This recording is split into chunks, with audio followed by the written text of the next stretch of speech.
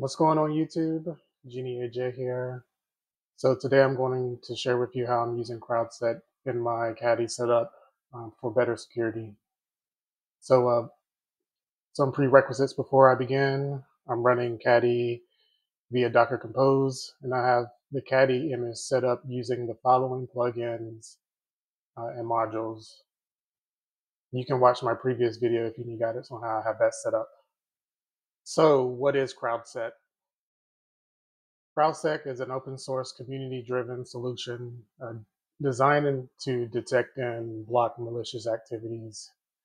So I haven't looked too much into the community side of CrowdSec, but I know that users of CrowdSec can share information about detected threats, uh, contributing to a global database um, of malicious IPs, right?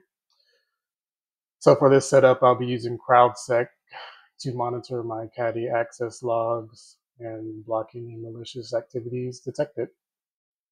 All right, so first we're going to go over the Docker Compose file for CrowdSec. I'm going to run the command code compose.yaml. All right, so under services, uh, this is where we'll be configuring um, a service named CrowdSec. Uh, so the image that we are going to be using will be the latest version of CrowdSec from uh, Crowd Security. The image, or excuse me, the container name will be CrowdSec. Under environment, uh, we're going to specify what collections we want CrowdSec to download. So collections are curated bundles of parsers, scenarios that work together to form a coherent security package. These collections simplify the development, or excuse me, simplify the deployment of CrowdSec by providing pre-built configurations tailored to specific use cases, such as protecting web servers or detecting brute force attacks. So there's many different collections to choose from depending on your use case. But for my setup, you only need the following collections. I have the Linux Cloud Security Collection, the caddy as well as AppSec generic rules. Going under volumes, you need to ensure that you've included, included access to the caddy logs. As you can see here, this is where my caddy access logs are within my server. And we're just mapping that to the var log caddy within inside the CrowdSec container with read-only privileges. So we also need to create a config directory and add the acquis.yaml. Uh, so we can do that now, or I'll just show you. I already have it created in the config. As you can see, I already have the keys.yaml file created. So looking at the keys. I don't even know if I'm saying that right, but the keys.yaml file, if we look at it, This is the only thing that you need within this file. That is the file name to your caddy logs. And then you can add a label for caddy. Moving on to networks. So you want to place the CrowdSec uh, container within the same network as caddy. And then for the restart policy, you can set it to uh, do not uh, restart unless stopped or restart unless stopped. And then here we define that our caddy network is externally created. Now we can go ahead and start the container, making sure that you're in the right directory as the compose.yaml file for CrowdSec. You're going to run a sudo docker compose up dash d. All right, so the next step in this setup is getting the bouncer caddy key. So for this, uh, you need to run exec within, or you need to exec within the Docker container for CrowdSec, uh, which just means you need to you need to create a shell for within the Docker container container and run the the command will be cs cli, which is basically CrowdSec CLI. So for convenience, all I did was edit my bash.rc file. Um, that's your file that you can use to create custom aliases to run specific commands within your shell environment. Um, so what I did was I created an alias to run docker exec cscli uh, as if it was a normal binary. Um, so I can show you that real quick. So if you go to, I'm going to run code home directory, the little tilde, uh, tilde sign is your home directory, um, dot bash rc. And if you scroll all the way to the bottom, right here you can see is where I added the alias. And you can do this the same on your system as well. Um, once you enter in this line of code within your bash RC file, you want to make sure that you either uh, restart your terminal or run a source uh, .bash RC to um, load the alias into your current shell. So as you can see, I can run CSCLI and it, it works. So the command that you want to run will be a CSCLI bouncers add, and then you want to name it caddy. So for my setup, I already uh, ran this command. So if I run it again, it's going to um, error out bouncer already exists. So I can just do caddy2 just to show you what it'll look like and it's going to print out an API key. This is exactly what it's going to look like when you run Caddy. Uh, you want to make sure that you copy and save this API key. And I'll show you where to place that next.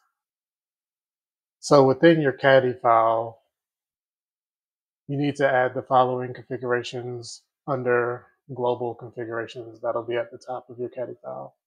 The first thing you want to add is order CrowdSec before respond. So this directive ensures that the CrowdSec module processes requests and can evaluate and potentially block malicious requests before any responses are sent. And then you also want to add this CrowdSec block, which configures the CrowdSec middleware. Here you have the URL of where that CrowdSec API is accessible here you have the API key, which is used to authenticate within the CrowdSec API. The ticker interval is set um, the interval at which CrowdSec middleware checks for updates, as in new, uh, such as new decisions or alerts from the CrowdSec container. And I have mine configured, configured to poll every three seconds. So the next URL handles the application security AppSec uh, module, which handles the advanced security and application level protections. Once this is configured, you can add CrowdSec at the bottom of the app. Uh, for this demonstration, we'll be testing this on PhotoPrism. So if you go down to my caddy file, where I have PhotoPrism configured for photo.test.geniehome.net, I'm just going to add the middleware CrowdSec at the bottom of the reverse proxy right here. Uh, once you're done with that, you can save it. Um, and then you want to restart your caddy container by running sudo docker compose up dash d and you want to force recreate this container. All right, so now time for the fun part, time for testing. So the first thing I want to do is just verify my IP address to my desktop. Um, and I'm going to run the following command uh, within the PowerShell terminal. Uh, the get net IP address um, interface tailscale. So I am using tailscale right now to connect back to my server. Um, I plan on making a video on how I'm using tailscale in my remote setup uh, at a later date. But as you can see, I'm using uh, 100, 154.99. All right, next what I want to do is I'm just going to load up Photo Prism in my browser real quick just to show you that it is up and running.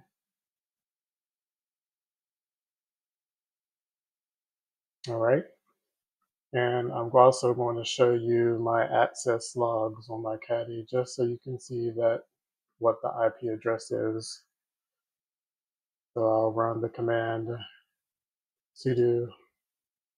I'm going to tail log slash caddy slash access dot log, and I'm going to pipe that over to JQ just to make it easier to read. And as you can see, if we scroll up to the last request made from test photo, photo.test.geniehome.net, scrolling up to my remote and client IP, you see the 54.99. And that is my desktop IP address. All right, you see that. So now I'm going to head over to a Kali VM that I have stood up and I'm going to run a tool called GoBuster, which is a tool used in pen testing and you know, ethical hack hacking uh, to brute force various elements of a web application or network. So if all goes well, we have CrowdSec up, up and running. My IP address will be blocked as soon as I begin the directory scan of PhotoPrism, uh, and you should receive a 4.3. You should see a 4.3 status code uh, which means my, my desktop has been blocked. So the command right here, GoBuster, directory, brute force, website, photo, dot test, should be test dot geniehome.net and it's just the word list that I'm using. And we'll run that. As you can see, immediately I start to receive the 403 code. So I'm going to go ahead and stop that. Now I'm going to pivot back over to my server terminal and clear the screen.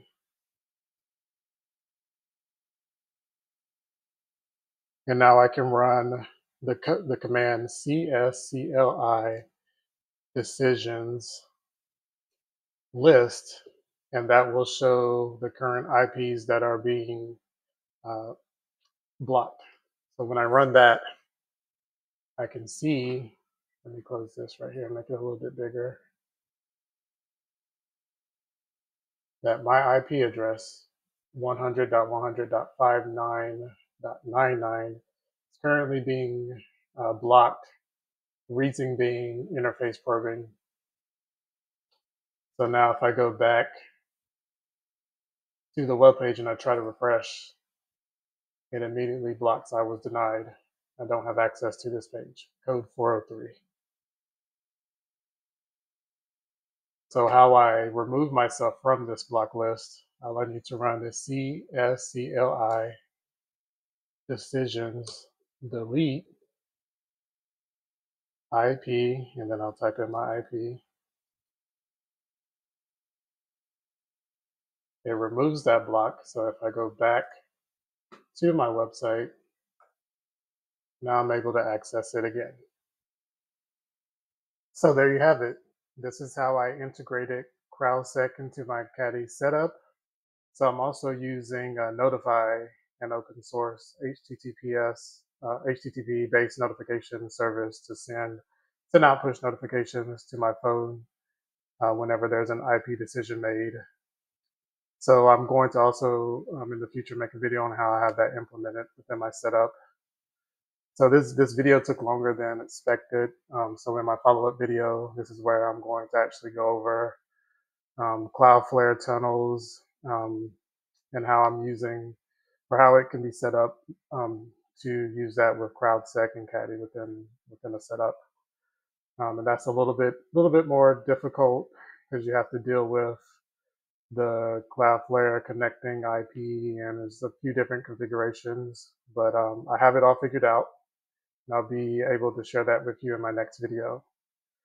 If you found this helpful, please like, please like and subscribe. Um, thank you for watching. Until next time.